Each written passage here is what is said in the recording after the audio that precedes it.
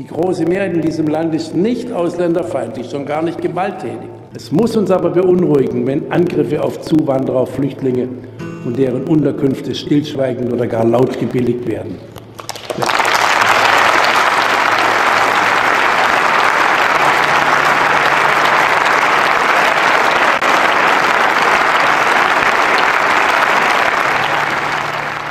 Wer Hass schürt, beutet die Verunsicherung, die Ängste von Menschen aus.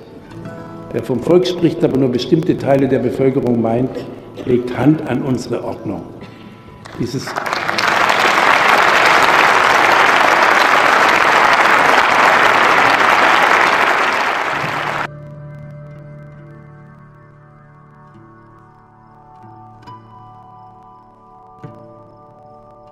Für uns haben sich die Grenzen damals hermetisch geschlossen und nicht wie hier geöffnet.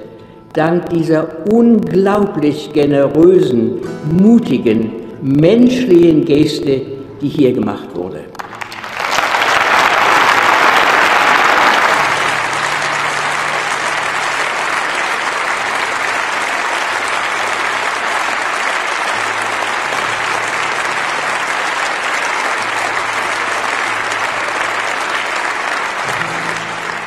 Ich verabschiede mich jetzt von Ihnen mit Dank für diese Einladung und Anerkennung für die Würde und Offenheit, mit der Sie jedes Jahr diesen Gedenktag begehen. Thank you.